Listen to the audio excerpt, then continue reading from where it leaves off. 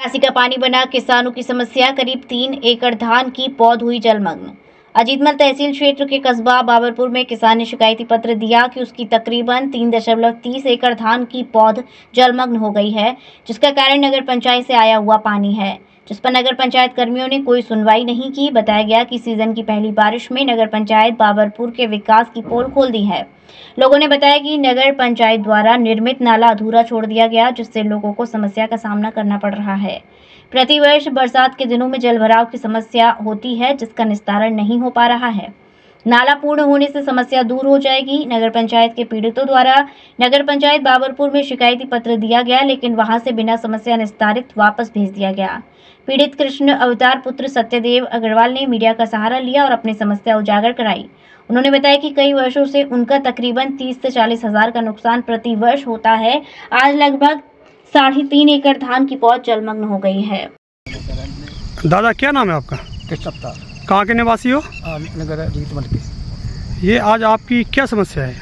ये समस्या साहब जो पानी भर जाता टाउन को पानी आ रहा है। तो जो भर जा सारे पूरे हर साल हर साल भर तक तीन तीन तीन चार लाख को रोज नुकसान होता हर साल साल। क्या नुकसान हुआ है इस बार आपका? ये क्या नाम धान की पौध खत्म हो गई। कितने एकड़ की? लगभग तीन साढ़े तीन एकड़ की।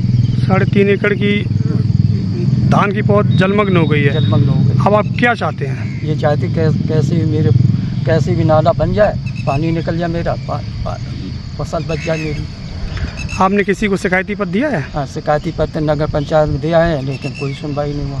क्या कहा उन्होंने? उन्होंने यही कहा कि वो एस डी एम साहब से पूर करें सेंसन करें ये करें वो करें ये अब आप क्या चाहते हैं? ये चाहते थे तो पानी निकाल दिया जाए या कच्चा नाला खोद के डाल दिया जाए मंडी समिति के किनारे किनारे स्तरीय चिकित्सा सुविधाओं से युक्त JP diagnostics radiology and pathology centre Mathura का पहला complete radiology and pathology diagnostic facility से सुसज्जित।